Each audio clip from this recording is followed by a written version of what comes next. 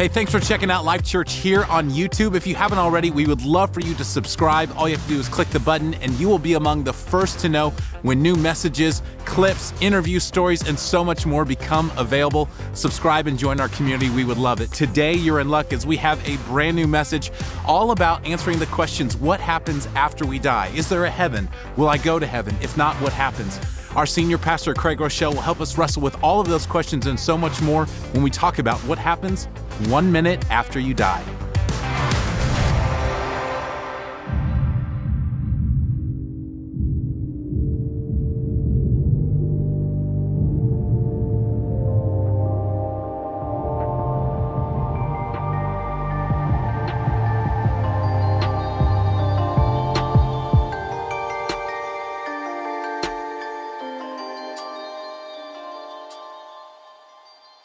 I am really excited to uh, share some truths today from God's Word. But before we do, I want to take a moment and just acknowledge the power of what we got to see at 31 different locations as hundreds and hundreds of people uh, are being baptized, going public with their faith in Jesus. In fact, uh, at my campus, I saw um, a dad who was baptized, who baptized his children. Uh, generations are being changed by the power of Jesus. And I want to just highlight a few different names of people at different locations that have come to faith in Christ. Uh, out of Life Church in Albany, New York, Troy and Marla, who were recently married, found faith in Christ together, baptized as husband and wife. We congratulate you on the work of Jesus in your life. Out of Life Church, Hendersonville, Tennessee, Jay, congratulations free of drugs, free of alcohol. You are not a hostage. You are free by the grace of Jesus, baptized today. And from Life Church, Northwest Oklahoma City, Pastor Ronnie Brumley, congratulations on the honor of baptizing your dad, Kenneth, today. We celebrate with you. Life Church, these are just a few stories of over 13 hundred individual stories of the grace of Jesus. Can you feel it? We're not praying for revival, church. We are living in the middle of one. In fact, today we're starting a new message series that I know is going to impact a lot of lives in a really, really special way. Uh, if you wouldn't mind at all of our life churches, would you mind standing to your feet for the reading of God's word? We're going to start this message series in uh, 2 Corinthians chapter 5. Uh, our title is One Minute After You Die. What happens one minute after you die? I'm curious how many of you would say, I don't really like thinking a lot or talking a lot about death? A lot of you say that. I know Amy doesn't like to talk about what would happen to me when I always tell her, here's what I want you to do. She says, I don't want to talk about it. The truth is, you don't really die. Did you realize that? Yes. Your physical bodies will cease to exist, but you never cease to exist. You will live eternally somewhere. This is what scripture says. 2 Corinthians 5:1. For we know that when this earthly tent, what is the earthly tent? That's a metaphor for our bodies. We know that when this earthly tent we live in is taken down, that is when we die and leave this earthly body, we will have a house in heaven an eternal body made for us by God Himself and not by human hands. We grow weary in our present bodies. How many of you grow weary sometimes in our present bodies? And we long to put on heavenly bodies like new clothing. For we will put on heavenly bodies, we will not be spirits without bodies. While we live in these earthly bodies, we groan and we sigh but it's not that we want to get rid of these bodies that clothe us, rather, we want to put on new bodies so that these dying bodies will be swallowed up by life. Verse 6 says, So we are always confident. Look at the person next to you and say, I'm confident. So we are always confident. Even though we know that as long as we live in these bodies, we are not at home with the Lord, yes, we are fully confident. Say it again I'm confident. And we would rather be away from these earthly bodies, for then we will be at home with the Lord. Another translation says to be absent from the bodies is to be present with the Lord. So, what is our goal? Why do we exist? What is our assignment while we're in these earthly bodies, in this tent, or even when we are away from this earthly body? Verse 9 tells us so, whether we are here in this body or away from this body, our goal is to accumulate a lot of money. Did I mess that up? Our goal is to become YouTube famous. Our goal is to get a record number of likes on our latest post with the perfect filter and the dream caption. Our goal is a house with shiplap. I don't even know what that is, but evidently, to some of you, it's a really big deal. I practiced saying shiplap because I could mess that up so easily. So, what is our goal? Whether we are here in this body or away from this body, our goal is to please Christ. Our goal is to live for Him. Our goal is to do what lasts eternally. Verse 10, Paul says, For we must all stand before Christ to be judged. We'll come back to this thought. We will each receive whatever we deserve for the good or evil we have done in this earthly body.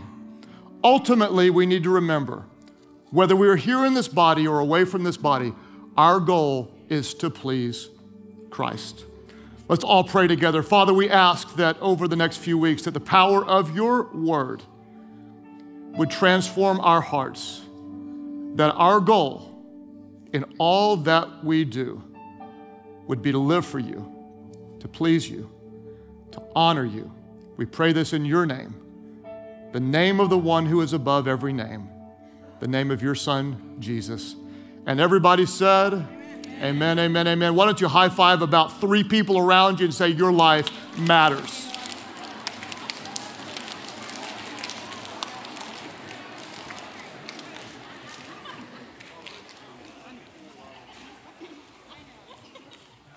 We're going to cover some, uh, some big topics, and what I want to do is I want to let Scripture do a lot of the work. So we're going to look at a lot of Bible. Can you handle that? If you can handle it, say, I'm ready. I'm ready. You uh, ask for it, so get ready. We're going to look at a lot of Bible. Uh, we had some people ask, uh, I bumped into some people, why are we talking about death? It's not a fun subject. Why are we talking about eternity and, and such? Uh, I want to try to answer this question as we start this message series because uh, it's really, really important. Why are we talking about what happens one minute after you die? The reason is because what you believe about eternity determines how you will live today. What you believe about eternity, it determines how you live today. If you believe that you are an accident there is no God, there is no eternity, then you're gonna live a selfish life, uh, uh, life driven for the pleasures of this time, and everything's gonna be about now. If in turn you believe that you're created by a God for His glory, you will live somewhere eternally, it will shape the way you live. What we believe about eternity will determine how we live today. You will live somewhere. Your physical body will cease to exist at some point. Your soul will continue to live. Uh, next week, we're going to talk about the horrors of hell. Is hell a real place? What happens in hell? Who goes to hell? Why did God create a hell? Do you just play cards with a bunch of uh, fraternity brothers in hell? Is there real suffering? What happens in hell? We're going to talk about heaven in the upcoming weeks. Who goes there? What do you do there? Is it this boring, long worship service where you sing for thousands of years? Or do you have new bodies? Do you recognize people? You know, what do you do in heaven? We're going to talk about that. Today, what I want to do is lay a foundation for our message series, One Minute After You Die. And I want to talk about three things that happen immediately after this life is done. Three things that happen after this life is done. We've talked about the first things. Number one, our physical bodies die. Scripture says this our physical bodies die. Hebrews 9, verse 27. Just as people are destined to what? Let's all say it aloud. Just as people are destined to Die once. Let's pause there for a moment. I want to make sure you understand that according to recent studies, the studies are conclusive. One out of one people die. You're gonna die. You're gonna die somehow. I don't know how. Hopefully, I don't die from a shark attack. I was recently at the beach and I saw what I thought was a shark. It was only a dolphin, but I ran like a girl because I thought it was a shark.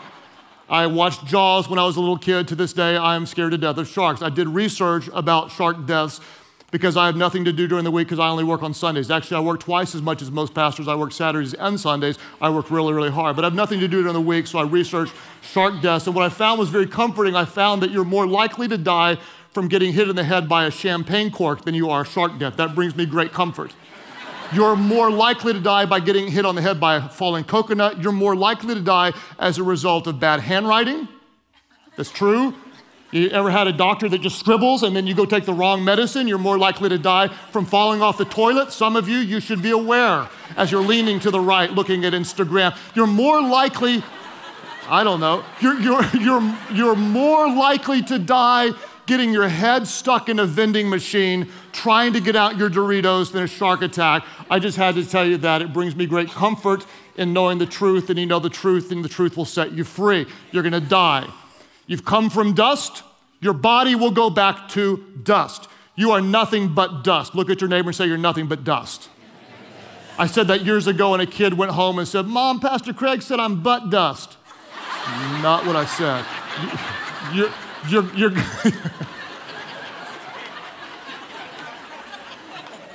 you got to love fourth grade boys and 50 year old men. They all think the same. Scripture says this just as people are destined to, say it with me, just as people are destined to die once, and after that to face the judgment. We're going to come back to this thought. So Christ was sacrificed once to take away the sins of many. And he will appear a second time, not to bear sin, but to bring salvation to those who are waiting for him. What's going to happen after you die? Our physical bodies will die. The second thing is our souls separate from our physical bodies. Our physical bodies stay behind, our soul continues to live. Jesus said this in Matthew 10 28. Do not be afraid of those who kill the body, but cannot kill the soul. Rather, be afraid of the one who can destroy both soul and body in hell. Don't fear people, but live in a reverent fear of God. Uh, when, when your body ceases to exist, your soul continues to live. In other words, at your funeral one day, and there will be a funeral, after they say, you know, and you go on the ground and everybody else goes to Aunt Elma's house, and they're eating potluck dinner, you will never be more alive than you are at that moment. Your soul still lives even though your body ceases to exist. Jesus illustrated this truth in John's gospel when he was talking to Martha, who was incredibly upset because Lazarus, her brother, had died. Lazarus had been dead for four days. And I love what the King James Version says about his body. The King James Version is so proper, so holy, so righteous, so beautiful. It said, His body stinketh. I just said it's stanky. But the King James Version says, It stinketh. And this is what Jesus said to Martha He said, I am the resurrection and the life. The one who believes in me will live even though they die. And whoever lives by believing in me will never die. What happens to the soul of a follower of Jesus after the body dies? Well, the Bible isn't clear on all of the details what happens immediately, but what we do know is to be absent from the body is to be present with the Lord. We do know that there were two criminals on the cross next to Jesus. They were both guilty. They both needed forgiveness. One recognized his need and called on the grace of Jesus. And that one criminal cried out, Jesus, remember me when you come into your kingdom. And by the grace of Jesus, not by any works this guilty man could have done, but Jesus answered him and said, Truly I tell you, today, today, when your body ceases to exist, you will be with me in paradise. Where exactly is that? Is, What exactly is that? We're not completely clear, but what we do know is it's way better than this earthly life.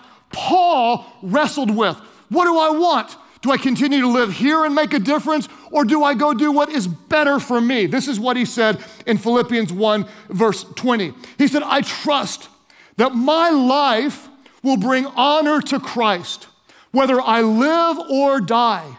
He said, For me, living means living for Christ. And dying, Paul said, is even better. But if I live, he says, I can do more fruitful work for Christ. So I really don't know which is better. I'm torn between the two. I long to go be with Christ, which is better for me, but for your sakes, it's better that I continue to live. To be in this body is to be fruitful, to share the love of Jesus, but it's better to be away from this body, to be in the presence of Christ. I don't know which one I want to do. I really want to be with Jesus, but for your sake, since you are in need, I maybe will stay here. What happens one minute after we die. We know our, our physical bodies die, our soul continues to live and separates from our body, and then at some point, number three, we will all face judgment. Peter said it this way 1 Peter 1 17. Remember that our Heavenly Father to whom you pray has no favorites. He will judge or reward. He will judge or reward you according to what you do. So you must live in reverent fear of him during your time here as temporary residents. Remember, this world is not your home. You're just passing through. This is just a short period of time in the eternal scheme of things. At the end of this life, we will be judged or we will be rewarded. Let me show you in Scripture two different judgments and talk about each one. The first is called the Great White Throne Judgment. The Great White Throne Judgment. Most scholars believe that the Great White Throne Judgment is only for non believers, and I agree with, it's my opinion, that that assessment is true. This is what Scripture says in Revelation chapter 20, verse 11. John, who was exiled to the Isle of Patmos, had a vision given to him by the Holy Spirit of the things that were to come. And he said, This is what I saw. He said, I saw a what? Let's say it aloud. He said, I saw a great white throne and the one sitting on it. The earth and sky fled from his presence, but they found no place to hide. I saw the dead, both great and small, standing before God's throne. And the books were open, including the book of life. And anyone's name who was not found recorded in the book of life was thrown into the lake of fire. What is the lake of fire? We'll talk about that next week. What is this book of life? Here's the amazing news. What we know is that Jesus is the Son of God. He was born without sin. He's called the Lamb of God who was slain for the forgiveness of our sins. Jesus died in our place. When you come to the place like the criminal on the cross, when you recognize you have a need and you call out on the grace of Jesus, you are saved not by works, but you're saved by the grace of Jesus through faith in Him. And when you call out on Him, your name is written in a book. It's called the Book of Life or the Lamb's Book of Life. When your name is in His book, Scripture says your name can never be blotted out. Your name cannot be erased. It cannot be taken away. There is no whiteout. There is no eraser. Your name is in His book. And when your name is in His book, you are His child. At the great white throne judgment, if He looks through that book and your name is not there, Scripture says your next move, your next place of residence, is not a place that you will like, nor will you enjoy. Jesus says this one of the most sobering verses to me in all of Scripture. It's rocked me for years, it's shaken me for decades, it's made me unsettled, uncomfortable. It's a very challenging verse. Matthew 7, verse 21. Jesus said, Not everyone who calls out to me, Lord, Lord, will enter the kingdom of heaven only those who actually do the will of my Father in heaven will enter. On, on what day? Say it aloud. On, on judgment day. Many will say, Lord, Lord, we, we prophesied in your name. We cast out demons in your name. We perform many miracles in your name. In our world, it might be, I went to church on Easter every now and then in your name. I gave the little guy ringing the bell money at the Salvation Army during Christmas. I was nice to people. I was better than a lot of the religious hypocrites. I, I tried really hard. I did good works. I did these things. Verse 23, Jesus says, But I will reply, I never knew you.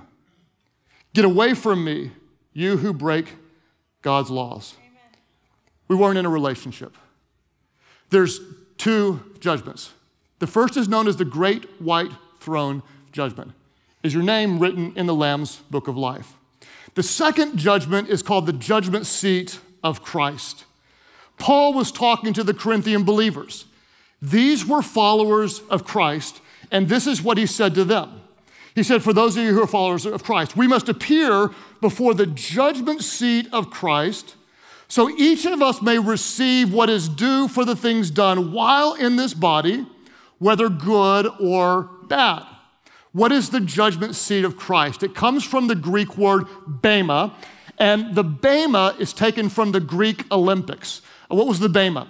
Uh, after, let's say, a race, the winners would come before the judge who would stand on the bema or sit on the bema, and the winners would be there's first, there's second, there's third. The judge would then give out the rewards or the prizes or the awards and say, here's the crown or here's the wreath for first place, here's for another one. The Bema seat was not a place to judge, did you qualify? The Bema seat was the place to say, we celebrate the fact that you finished the race, that you were faithful, and here is the reward for what you have done.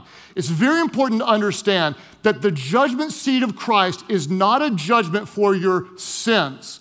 This is a judgment for those who are followers of Christ. Your sins were judged and forgiven by Jesus. This is a place where it, Jesus acknowledges what you did on earth is rewarded in heaven. Now, you may say, but I'm confused. I thought that you said we're not saved by works. We're never saved by works. You can't be religious enough. You can't try hard enough. You can't rid yourself of enough bad stuff. The problem is, by nature, we are sinners, and our sin separates us from a holy God. We are saved by the grace of Jesus and only by the grace of Jesus. We are saved by grace. We are saved by grace. We are saved by grace. But we are rewarded for works. We're saved by grace, but we are rewarded for works. And the reality is, when you've truly been transformed by Jesus, when you're no longer what you were and you suddenly are a new creation, you recognize you didn't bring anything significant to the table. You've only been changed by the love of Jesus. Suddenly, you don't have to work for your salvation. You want to live for the glory of Jesus. Because of what he did, you are no longer the same.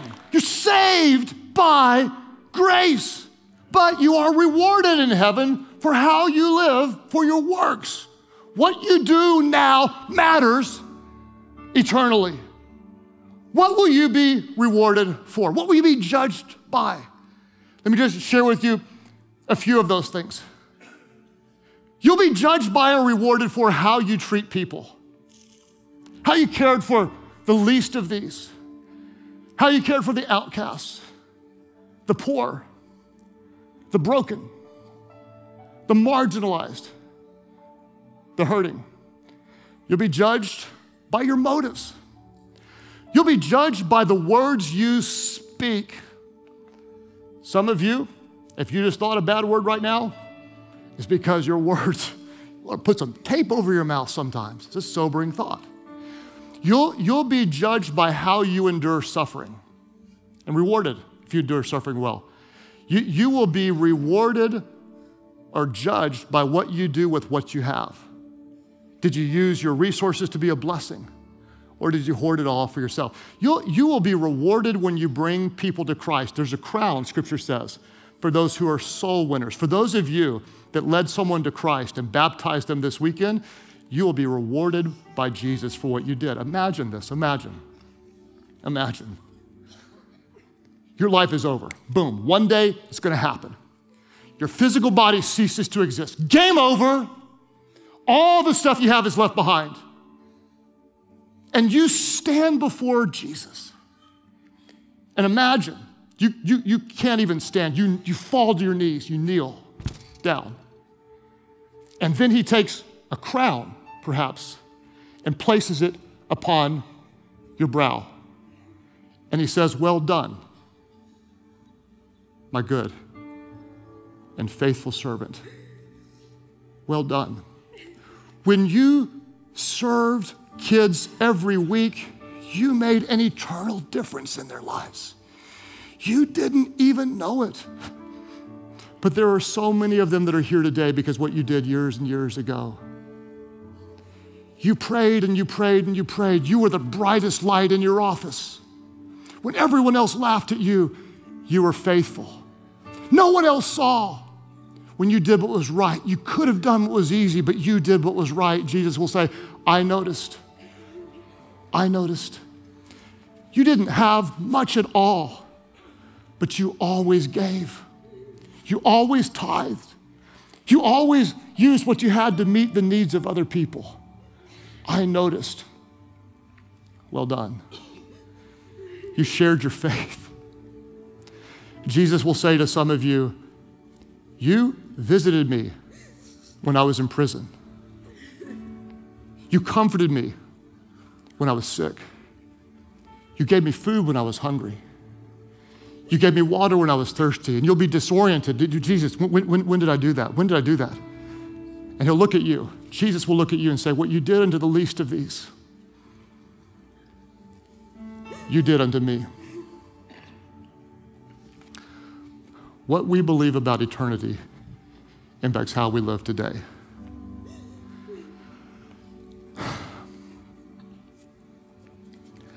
I debated or not as to how real to be before you about this and my own current state, but I'm just going to be as raw as I can be. When it comes for living for eternity, I have not been doing a great job lately. I honestly have not been doing a great job. I'm a pastor and I do my job, but there's a, there's a life I live apart from my job, and in the life I live, I haven't been on my game. And I'll try to unpack it because I've really been looking at this and trying to examine the why. And here's what I thought the mistake I made is this I thought the longer I walked with Christ, it's been a long time now, the longer I walk with Christ, the easier it would be to be eternally minded. Here's the mistake I, I made, I didn't see. There's, a, there's an opposite force, and that is the longer I live on earth, the more my roots tend to dig in to this world. And I find myself today caring way too much about the things of this world. It disgusts me. I care about what people think rather than being obsessed with what God thinks. I, uh, about the only place I interact with people that aren't Christians regularly is the gym. And for years, I'd go to the gym, and there'd be three, four, five, six, seven people that I'd be sharing my faith with and I'd lead several to Christ all the time. Now I go to the gym. I want people to leave me alone. I want to get my workout in, get my thing in, and get, get out of there. It disgusts me. The more comfortable my life becomes, and it's more comfortable today, the more I crave more comfort. And the more I crave more comfort, the less I'm living for the things that matter most. And I, Hope that doesn't disappoint you, but that's just kind of where I am. So, with everything in me, I'm fighting against the gravity toward the things of this world. What, what used to take maybe 10, 15 minutes in the morning to kind of reset myself spiritually, it just takes longer now. I have to spend more time in His Word. I have to spend more time in prayer. I have to, it's kind of like, I don't know about this, if you guys ever follow maps, I get lost all the time. I panic, I freak out, turn in 500 yards. That's how I turn now and then it's like then it recalculating, you know, recalculating. And that's the way I am. I'm, I'm, like, I'm like moving toward the things that matter, and then I, then I get distracted, and then I get distracted again. And so I have to let the Holy Spirit recalculate, recenter. I have, to, I have to continue to break the roots and the love for this world so I can continue to live for what matters. Here's, here's what I do I give until I'm more uncomfortable because trusting the things of this world feels so good to have them. So I break that by giving sacrificially. I pray for longer than feels normal because after a while, you start to say, This is a waste of time. No, this recenters me. This recenters me. I start to. Um, I start to pick people out and just say, I'm going to pray for these people that, that I don't even know. And what it does is it gives me an eternal perspective. I spend longer in God's Word because I need it, because it's recalculating, it's recentering. The pull of this world is so strong, and it's so temporary. So one day, your heart will beat for the last time. And at that point, no do overs. That's why in my world, I have to fight to keep the eternal goal front and center. Jesus. Whether I'm in this body or wherever I am, my goal is to please you. My goal is to please you. If you find yourself more concerned with this world, whatever it is football, shoes, the degree, the new house, popularity, the car, the next vacation, whatever it is. Cut the roots off to the things of this world, the things that will not last and do not matter. And let the Spirit of God recalculate, bring you back to spiritual center. You have one goal. You are just passing through here. So, whatever we do, wherever we are,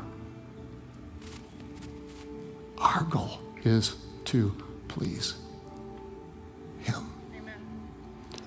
Father, we ask that over the next few weeks, by the power of your word and the ministry of your Holy Spirit, you would recalculate us to an eternal mindset.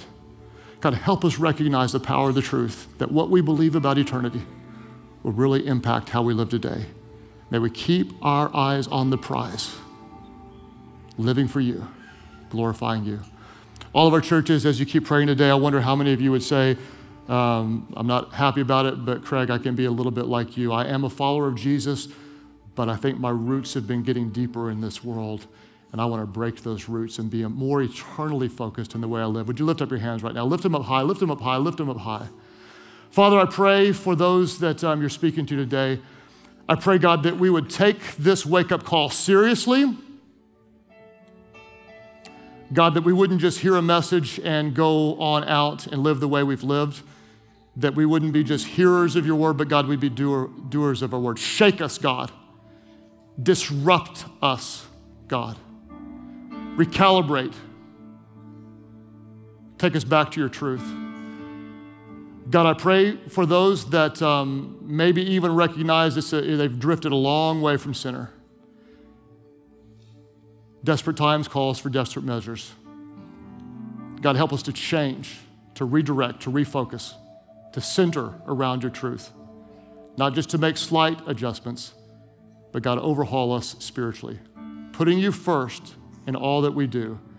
God, every day, help us to center in your word, focus on your truth, live for your prize.